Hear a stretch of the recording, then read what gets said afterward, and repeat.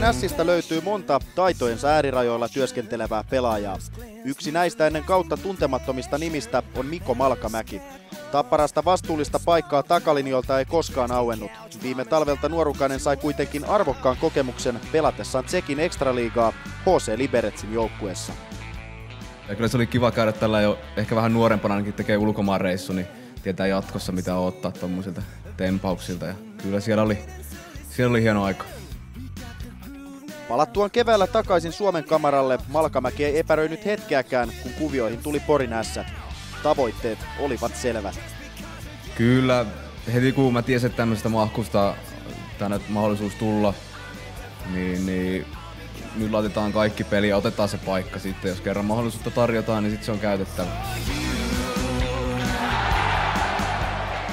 Malkamäki tarttui tilaisuutensa. 22-vuotias puolustaja on saanut vastuuta aina ykkösparissa asti ja tehopisteitäkin on kertynyt jo mukava määrä. Se on, meillä on niin vaativa ympäristö ja kaikki kaverit osaa auttaa toisia. Me keskustellaan pelistä koko ajan. Ja kun pelin nopeus pysyy tommosena kuin se on, niin me saadaan koko ajan uusia juttuja.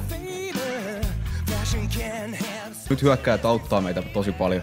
Ei tule semmoista, että joutuu yksin jäämään ja joutuu sitten pyöriin ja sitten menettää kiekon ja tulee omiin taas. Niin se on hyvä, että hyökkäjät auttaa meitä ja me saadaan kiekkoa niille. Myös Pekka Rautakalliolla on ollut osuutta kehitykseen. Kun valmentajana on yksi kautta aikain arvostetuimmista suomalaispuolustajista, on häntä helppo kuunnella. Se on tuntunut hyvältä. Tota, esim. siellä tulee semmoisia juttuja, mitä pelissä mä teen jotain niin kuin huonosti, niin sitten hän tulee sanomaan, että hei, että meikäläinenkin muutaman pelin joskus pelaajana, niin olisin tehnyt tämän jotenkin toisin tämän jutun. Niin, niin kyllä siinä kaveria, kaveria on ihan pakko kuunnella.